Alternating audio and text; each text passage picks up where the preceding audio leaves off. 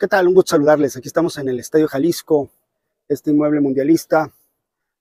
Y bueno, venimos a cubrir un evento, pero bueno, esto nos trae grandes memorias. ¿Recuerdas la primera vez que fuiste a un estadio, algún evento? Yo sí.